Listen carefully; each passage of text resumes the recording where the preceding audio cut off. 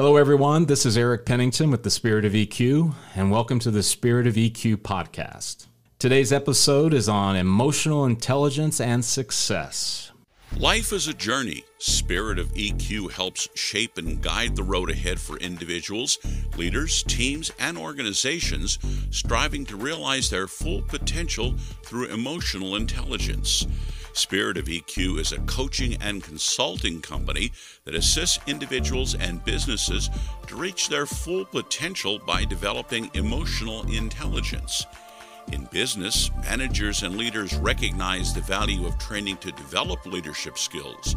What they may not realize is that those skills are far more effective when they pay attention to not only performance, but also to people. Emotional intelligence is a crucial skill because people drive performance and emotions drive people. After this podcast, listen for a special opportunity to learn more. Joining me as always is Jeff East. Hi, Jeff. How are you? Hi, Eric, and hello, everyone out there.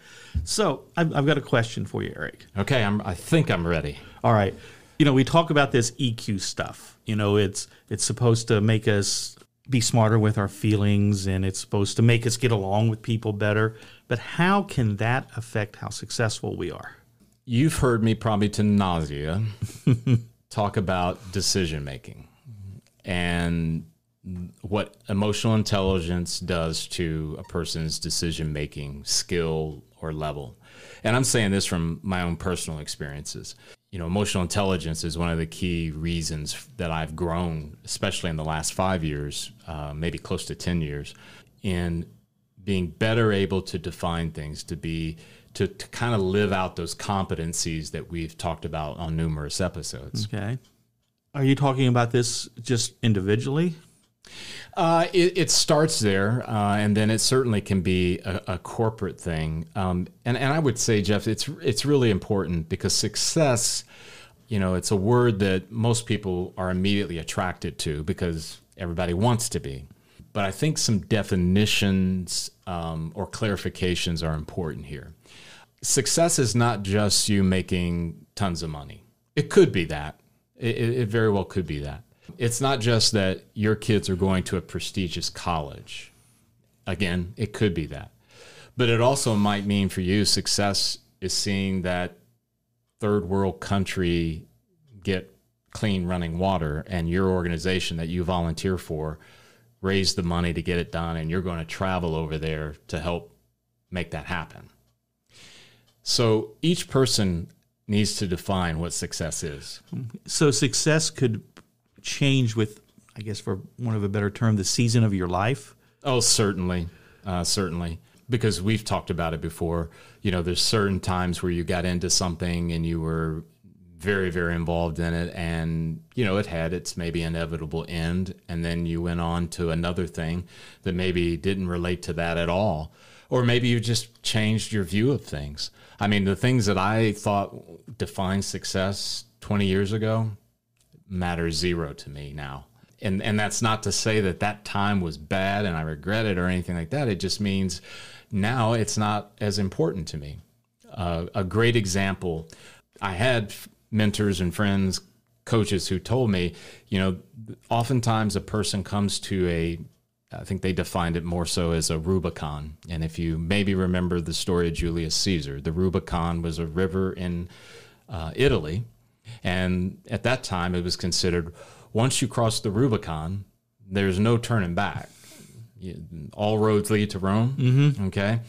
And that one has always stuck with me because what they were telling me was that there's a time in your life where you're going to be confronted with a Rubicon and you're going to have to make a decision. And once you cross, the things that you were before will be no more you'll you'll find yourself not interested in what was behind you and you're focused on what's ahead of you i'm I ask a question about that then. sure can we regret what we thought was a success in the past I don't know if I'm asking that. No, I, I, get it. I, I, and certainly give you the opportunity to clarify if I'm wrong here, Jeff. But I, I certainly could see that. I mean, I've had times in my life where I thought that becoming wealthy, big title, big office, nice car, nice neighborhood was the pinnacle.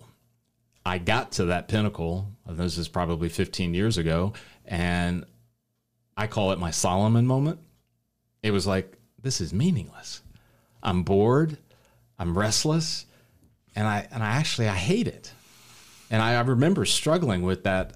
How could this be? Wait a minute. I'm supposedly I got everything that I'm supposed to want. I'm successful, but I'm bored. How does that work? So yeah, absolutely. I think though that regret is one that was um, sort of remedied by me turning around.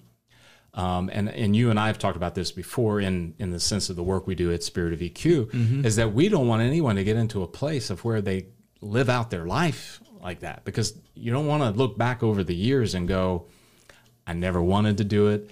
I hated it. Um, I only did it for money or I only did it for prestige or whatever the case may be. So yeah, I certainly think there can be regret. Hopefully, a healthy regret. Maybe is a better way of saying it. You know, what what I've learned to do is to value those things because they're part of your journey. Because you can't change your journey. Yeah, and that's that's a great way of looking at it too, Jeff. Um, and I think I know from my own personal experience um, where I'm, and I still I look at it today. To me, history is designed to learn from and and to to help prepare you for a better future, right? Though I might say, man, if I had to go back and do it all over again, I wouldn't do that. But to your point, if I didn't get to the place that I am now to have the sort of the understanding or the enlightenment of where I'm at, I wouldn't be here. Exactly. And so there's a tremendous value, even in those things that maybe, again, if you had to do it all over again, you wouldn't. Because I do realize that there could be people out there who really, really are beating themselves up over things that they thought were going to make them happy and they ended up not. This is kind of my plug for self empathy. if, yes. if, you hadn't already kind of got that sense. yes. So, what what other ways do you think that EQ does affect your or impact the success? Well, with, without getting into um, all of our processes, right? And, and, certainly, if, if you're interested in this uh, with us, you know, reach out to us directly, and we can kind of maybe unwrap it a little further, uh, you know, in the flesh. But there's a thing inside of one of our assessments, the SEI, as I know you're very well familiar with, uh, called success factors. And success factors uh, are made up of four different areas, right? Uh, it's effectiveness, it's relationships, well being, and quality of life. I've always looked at that as that's those are four places where EQ really shows up. It's where we can actually go, this is where it matters. It's great if we're able to measure, you know, again, your your ability to recognize patterns, which is a competency, right, within our model. But I kind of like take it from the perspective of okay, what is what are what are some things, and typically they need to be a few. They can't be ten. What are the things that man I really need to be good at? I really need to see if it's making a difference. And when I think about those four, I think it really comes out in a big way. I'll just use one for example, Jeff. Relationships.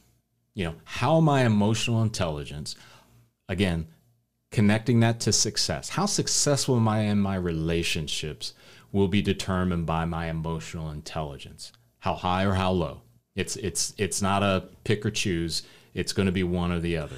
And, and you're not talking about the number of relationships. Like you, no, you have seven thousand Facebook yeah, friends. No, no. um, uh, I would say please take out the social media. uh, uh, I guess there would be benchmarks or measurements. Sorry, uh, it's all right. Um, but I think it relates to, uh, and I liken it to kind of the circle thing. Inside of my inner circle, my wife, my kids, my closest friends my some of my extended family. Uh, that second ring made up of maybe neighbors, maybe coworkers, uh, people who are close. To, I'm close to, but not as close as the first circle. Mm-hmm. And then that outer circle, that third circle, is maybe kind of the world at large. Maybe I met that person when I was on a trip to Washington. And, you know, we hit it off and we talked for like 10 minutes about life and family. You know, that's that other ring. So in whole, I mean, in, in all likelihood, Jeff, I mean, you know, close relationships in in those regards, you're not talking hundreds of people. quite frankly, I, I'm thinking it's less than 10 probably. So you're, you're talking depth instead of width. Yes, great way to put it. Great, great way to put it. Because at the end of the day, my the quality, the success I have in my relationships, it matters most with my wife. She's the most important human being on the planet to me. I need that to be successful. Um, so I want emotional intelligence to drive me to that. It's not as important for the gentleman I met in Washington, D.C. on a hot day in May where we just struck up a conversation because I may never see him again. And if I do, it might not only be, it, it may only be at a, at a conference, right? Now, there's a chance maybe he may move into those other circles and get closer to me, but I'm focusing, and, and for the purposes of what we're talking about, is where does it matter most? With the work we do, we want to make people understand EQ, want to be able to use it. So, what do you see the problem? Where, where do you see mm-hmm. it getting short circuited? Well, I, I think it, it, it comes back to, and we discussed this in a previous episode uh, about uh, refining your purpose. You know, it's this idea about what is most important to me. And this idea that until you really kind of define that, uh, it's going to be really, really difficult to, to, to hit those marks, right? I think the problem really does come down to primarily, though, decision making. If you're in a work situation and you've got a project that you and your team are trying to get through and you've got to get it done by the end of the fourth quarter and you're like halfway through the fourth quarter. And you know everybody's been working really hard and you're kind of tired and someone says you know guess what? We're not going to have that resource that we thought we were going to have. Well there's a decision that can be made with that. You could say well this is going to fail I, I, I, I kind of knew it was going to fail. And all of a sudden, you go into a spiral versus maybe using some consequential thinking and going, well, does that mean that really that it's going to fail? Because you said it before, Jeff, in these episodes, emotions are not bad. They're, they're really, it's data. They're trying to tell you something. Mm-hmm. And being able to analyze what is it telling you and being able to kind of look at it and go, you know what, I, I want to make the best decision possible, and I won't make that decision well if I'm being driven by frustration, anger, fear, that kind of thing.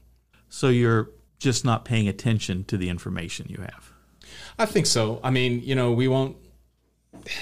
No, nobody's perfect. I mean, you know, and I don't want to make anyone get the feeling that if I do not make the right decision, all things will be lost. the future of the world and all of its, you know, I no, it, no, it doesn't. However, if you think about it, when do people get into the biggest ditches? Do they happen immediately or do they happen over time? One small decision that led to another small decision that was another small decision and then all of a sudden you got a big decision. So, that, that first small decision could have kept them on the road. Yeah. You know, I mean, we are guilty as human beings, right, of our pride. We're very prideful. You know, what was the whole thing about us as men? Our the stereotype of men. I don't need any help. Who, Hey. needs, who needs instructions? Who needs instructions? I can figure this out on my own. Hey, honey, I think you're lost. I we're fine. We're fine. Well, why don't we? Why don't we like? Uh, oh, why don't you open up the Waze app and see if maybe there's some? I've been driving for 20 years. I know where we're going. I've been down this route. Right? Is that not? I, I can remember a quote from Daniel Boone. Somebody asked him one time if he was ever lost. And he said, No, I was just confused for a couple of weeks once. so there you go. There you go. if we're able to, in, in the practice of Spirit of EQ and the work we do, to help people become better decision makers, to help them understand that when you're on the phone with that customer and that customer is just livid about 20 things that really don't matter, but they're unhappy, they're not, they're, they're, they're upset. If you're able to make a good decision in that environment, it's going to lead to something really, really positive. And that is the same thing with your son or your daughter, your partner, your, your, you know, your aunt, your uncle, your whoever. But again, it's that defining of what's most important and then looking at those relationships and situations that matter most. Is, is there a cost to uh, have success when good decisions weren't made? Oh, that's a great question, Jeff. You, you should be able to look at your successes, and there have to, and, and and there's a there's a certain level of rhyme and reason to it, even if there were surprises along the way. Because what you described, I think, can be a two sided coin. All of us are going to be lucky sometimes. There's sometimes when I should have lost and I won. There's always going to be those times when I should have been reprimanded, but I was praised. I think that kind of goes to the spirit of why we should all be very humble and thankful because I think everyone out there can specifically go to a time when you knew it should have hit the fan because of you. Yeah, it was an oh whatever Moment. word you want, and then Yeah. you end up going. Phew. Exactly. I think most people will- would relate to that on the road, right? When you Yeah. are driving over the speed limit and the, the lights come on and the highway patrolman or the police officer goes right by you and gets the person two cars ahead of you. you were speeding. It's just uh-huh. you got lucky. Um, so I know that those kind of situations are there. I, I can't stress enough if you're making bad decisions and, and becoming successful, there's a price for that. And, and, and, and the obvious one is, is that potentially one day you might get caught making bad decisions, right? I think another one is, is it builds a false sense of your abilities. I've always felt, again, speaking of living in America, that's my reference point, is that we far too often, I mean, we overestimate the reasons for our success. And we, if we're not careful, we'll begin to think that what was maybe luck, what maybe was timing, you happened to be in the right place at the right time when the market was, you confuse that with your ability. Now, I get it. There's a number of people out there. I, I was in that club where I used to think, well, look at what I'm presiding over. It must mean I'm great. but the reality is that's a really dangerous thing because it creates a, a very big blind spot. How do we go about learning to do this to to use your emotions for decision making? you know, in in our world, you know, we take people through a process of of of assessments and then maybe analyzing the data that comes out of those assessments and then the path forward as far as how do you how do you turn this into behavior change? How do you make the course corrections? How do you leverage your strengths and all of those things? Those are certain and true paths that you can take. And also there are things that you can do like I said about the the what is most important to you. You can pull out a sheet of paper and go, you know what? Here are the five most important things to me. Okay. You can take what we just gave today, the success factors, and ask yourself, how good am I doing in those areas? You know, am I am I effective? Meaning, am I getting things done that I'm kind of tasked to do? Am I am I am I finding that each day things are are moving in a direction, even with the fact that stuff goes wrong, it always does. And then my well-being, how am I doing physically, mentally, spiritually, emotionally? How is that going? Those are assessments, if I can use that term in this regard, mm-hmm. that you can do just on a sheet of paper with yourself in that moment. The worst thing, and this is my great warning, the worst thing that you can do is to do nothing. Because then I think you become the prisoner of the tide. And the tide does not wake you up every morning to say, hey, I just wanted to let you know we're going to go about 100 feet out today. Just wanted you to be ready. No, it's no warnings. You, you, you, you want to prepare, but you don't want to be in a position where you're saying, I don't need to do anything because that, that's a sure recipe. Emotional intelligence, as it has grown, meaning is, is growing inside of you, there's a corollary that comes with the decision making process. I kind of liken it to the greater my EQ will mean the greater decision making I make, which leads to my greater success. The key is what areas are those in? That's that's the big takeaway for me. Okay. We've been talking about an individual for the most part. Yep. How does emotional intelligence, how can this help a company making decisions? Is there such a thing as an emotionally intelligent company? Uh, yeah, I, I, I believe there is. It, it's a bit more complex, or can be, but ultimately, any business owner, any high level leader running a large organization or a small one, if you ask them, do you want your people to make better decisions? It, it'll take maybe a millisecond for them to say, of course, of course. Okay, well, why is that? Because they realize that that's what leads to better performance and better results. The stuff that gnaws at these folks is the fact that we're not effective. We're not moving in a direction to get the results we want. But an old friend of mine told me once is that every organization is perfectly aligned for the results that they're getting. yeah. And I couldn't agree with him more. Uh, it, it is is absolutely on mark. I think it flows the same way, Jeff.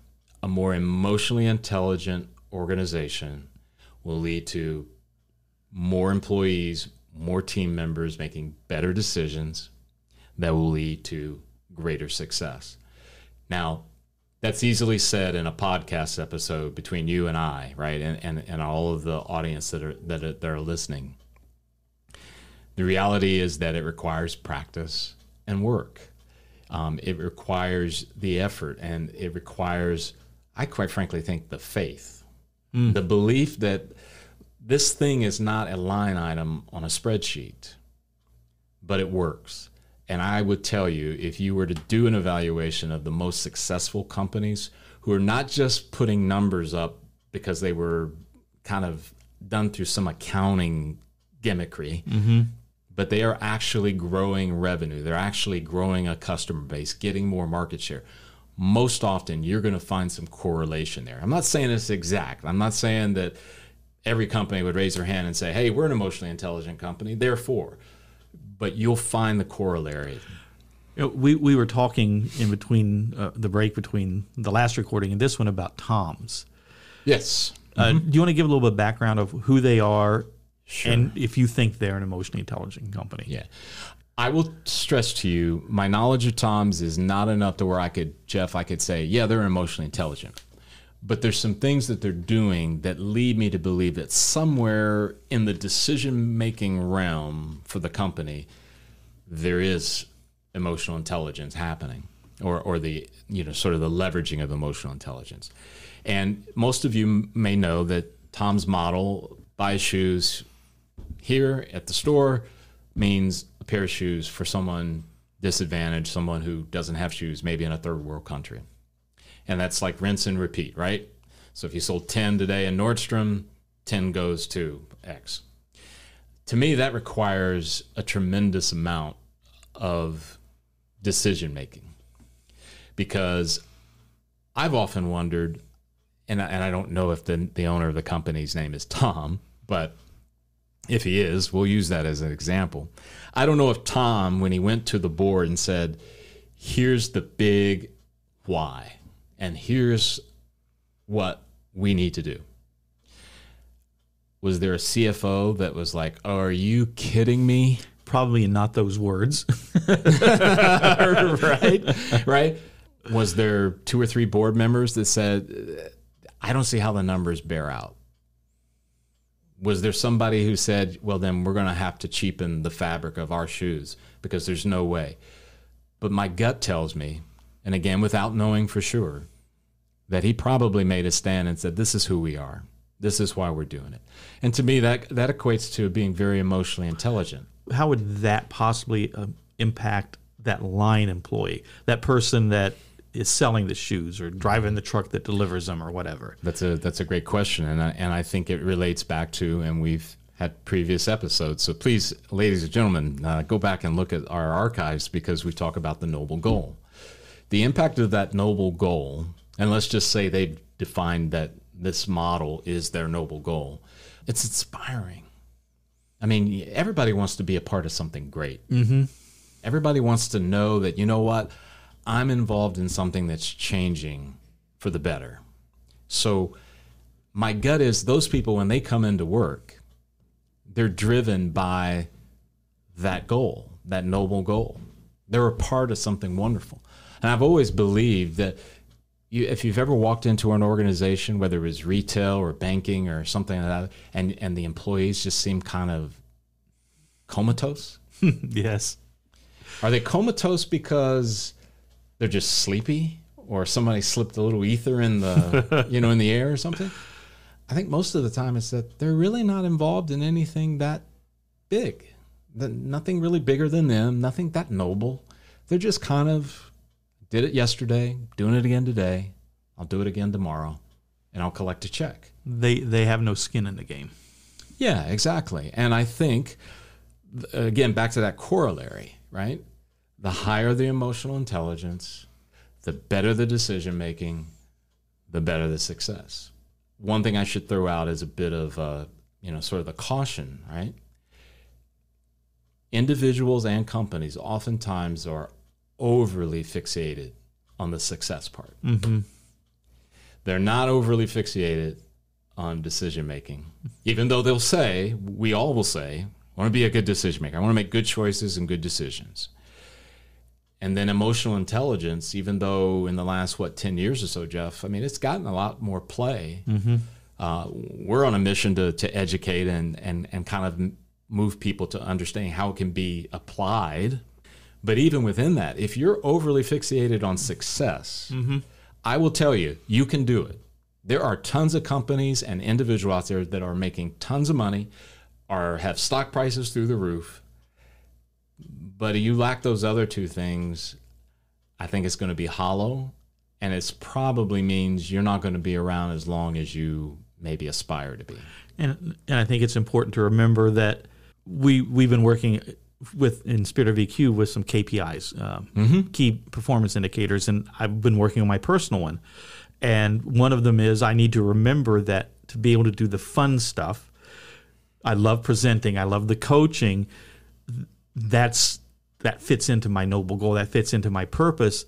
I still have to do those other things that I don't like so much to be able to fill my noble goal. If if Tom's is an example, if they gave away everything and went out of business, there you go. They, they they have to they have to balance this noble goal, this this purpose, the why of what they're doing, with the reality of the world that you're in. Yeah, and Jeff, I will tell you from experience, uh, in one of my past business failures, I used to believe that just because it was a great idea and everybody was going to love it, that that's that's what we needed to focus on. I didn't think that. Well, you wait a minute. I got to look at the P and L and kind of weigh word. the profit and loss and determine whether or not we need to cut expenses and all that stuff because that was to me was boring. I don't I can't be but you know what in that failure after I was after I had the bitter taste of it, I could look in the mirror and go there's a difference between an idea and a business.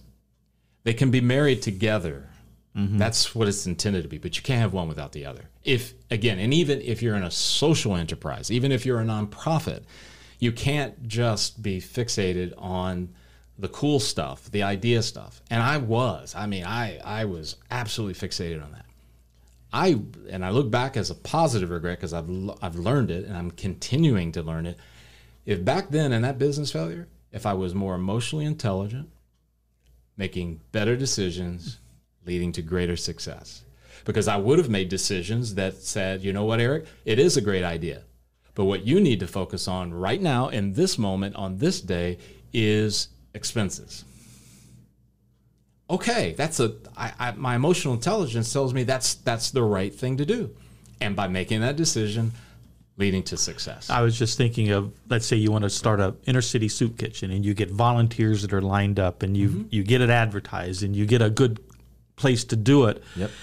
and the people show up and you don't have any food. Or how about this, Jeff? You have the food, you have everything done, it's been advertised.